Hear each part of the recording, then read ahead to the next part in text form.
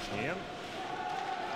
Кошелев выбрасывает шайбу с неудобной руки. Чибисов ее обрабатывает. Очень непростая ситуация. Бросок и гол! 2-0. Андрей Чибисов. Ну, во-первых, Андрей Чибисов заработал на себе две минуты.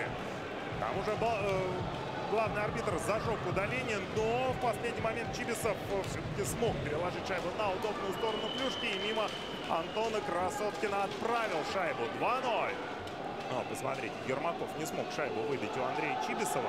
Тот поставил корпус. Ну и как раз э, за счет э, габаритов своих Андрей Чибисов продавил защитника новосибирской команды и поймал на движение Антона Красоткина.